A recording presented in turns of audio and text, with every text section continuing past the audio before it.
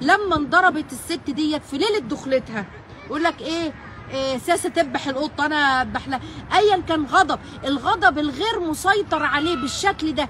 في أفضل ليلة من ليالي العمر وتنضرب العروسة في ليلة دخلتها عشان اتأخرت أو علشان ايا كان السبب دي شخصية غير سوية. شخصية سادية بتتمتع كده سادية بتتمتع بتعذيب الآخرين ومفيش تفاهم أصلا. مفيش حوار. كان ممكن تخلص بالحوار على فكرة لكن ما حصلش حوار. وركزوا معايا. ركزوا معايا علشان ده بيتبنى عليه حاجات كتيرة جدا. في تغيير تغيير فكر الجيل وتغيير وعي الجيل ووعي البنات. أنا يهمني دلوقتي البنات المقبلة شايفة الدنيا إزاي ولا الزوجة حديثة الزواج ولا الشاب الزوج حديث الزواج؟ ضرب الزوجة بالشكل في ليلة الدخل اللي بيفضلوا أصلا عايشين عصافير كناريا قبلها بست أشهر وعصافير كناريا بعديها بسنة مثلا. فأجي في ليلة الدخل دي لها مدلول.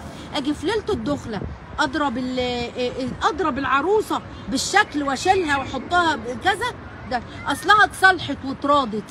أنا عايزة أقول لكم معلومة بقى وخلوا هنا البنات يجيبوا أصل هي مغلوبة يا ست اسمعيني. يا ست اسمعيني الله يصلح حالك ما أنا هفسر لك الحتة دي. واسمعوا معايا يا بنات ويا زوجات.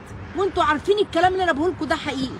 المرأة مشاعر ومش بالسهل عليها إنها تخرب بيت أو تتطلق. يصعب عليها قوي على فكرة. وتقول لك طب ما يمكن يتصلح. ما هو سرضاني بقى وطبطب عليا. ما يمكن خلاص أديله فرصة. ايا كان. ليه؟ عشان كده كان حديث النبي عليه الصلاة والسلام يتكلم عن مشاعر المرأة في موضوع الطلاق يقول إيه؟ وكسرها. طلاقها صعب عليها جدا.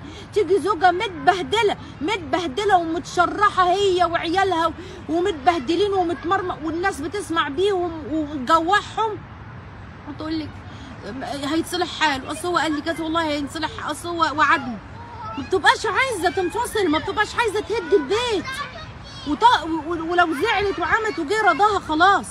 فطبيعي إن هي كانت توافق ساعتها. أنا مش مش ببرر دلوقتي سيبكم دلوقتي من موضوع ال... ال... الواقعه ذات نفسها خلينا نحلل الموقف بصفة عامة.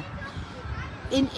لما يبقى ده في ليلة دخلة وفي البداية اللي هي المفروض أفضل ليالي العمر المفروض كده أفضل ليالي العمر بيسترضيها وبيحاول يتلطف معاها ويخفف عليها واقع الليلة والفوبيا اللي بيبقى عند البنات معظم البنات من الليلة دي.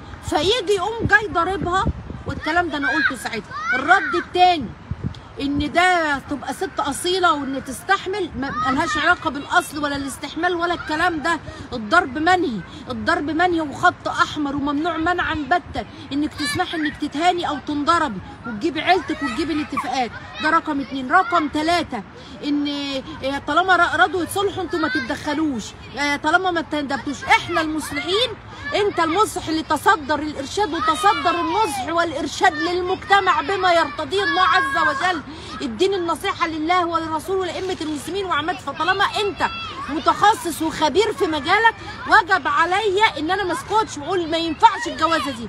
الأمر ده كان محتاج وقفة وقفة شديدة.